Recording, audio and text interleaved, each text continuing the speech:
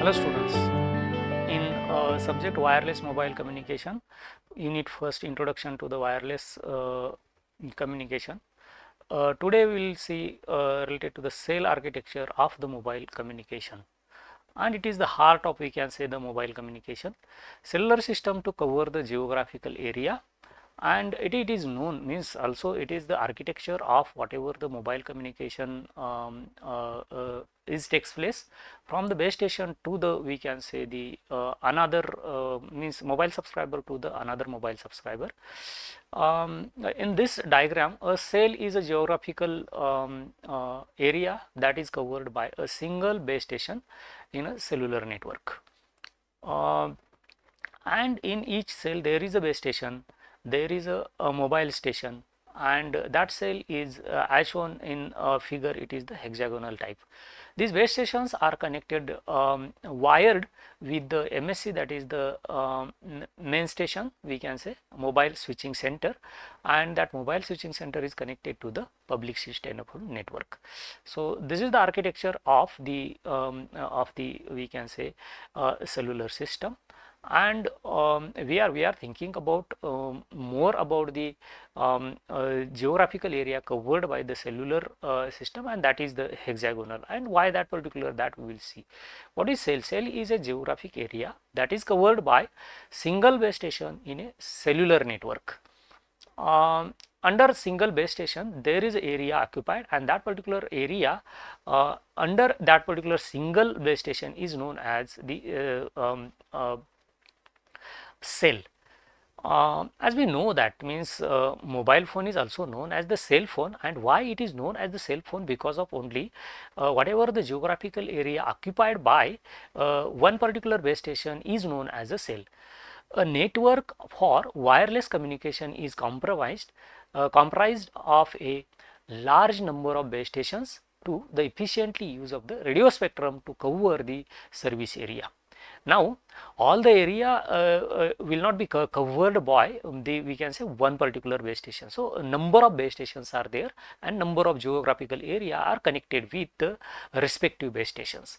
So, geographically separated frequencies may be um, reused many times. So, frequency reuse is one of the concept and that we will see afterwards, but uh, only you keep in mind that the um, adjacent cells are there, they are going to use the different frequency uh, bands and uh, um, uh, we can reuse the um, whatever the frequency is used in the cell for the further uh, we can say cell uh, and that is nothing but the frequency reuse. Um, why hexagonal? geographical area always taken as a hexagonal and why it is particularly hexagonal? Because uh, if, if you see that the different uh, shapes of the areas if you take into consideration like the uh, circle uh, circle made together but some part of the circles may be common. That is the one thing. Also in case of uh, another thing uh, it, it, it may happen uh, one thing we have to keep in mind that the from the center towards the periphery of the hexagon whatever the required distance is we can say same in all the way also there is no any um, um, area which is um, uh, which is overlapped or um, uh, kept vacant. So, that is one of the advantage of the um, coverage we can say the uh, hexagon. Three possible choices of the shape that is square, equilateral, triangular and hexagon. For given distance between the center of the polygon uh, and its uh, farthest perimeter uh, perimeter points, the hexagon has a largest area of the three. So, hexagon will cover the largest area in three different uh, geometries they have shown related to the square, triangle and the um, um, hexagon. Thus, by using the hexagon geometry, the fewest number of cells can cover the geographical region and it closely approximates the circle. So, uh, better is the closely approximation of the circle and uh, we can say uh, for the distance between the center to the polygon it is the farthest perimeter points and that's why hexagon is um, used at all times. Uh, hexagon cellular geometry offers the best possible non-overlapped cell radio coverage. Multiple hexagons can be arranged next to each other. The hexagons cover the large area as compared to the square as well as the triangular uh, simplifies the planning and design of the cellular system. Uh, so many means in case of the design and the planning of the um, cellular system so many so many parameters comes in picture and these particular parameters are um, designed on the paper first and it simplifies means hexagon uh, geometry simplifies that particular part and it, it is more advantageous in this particular case.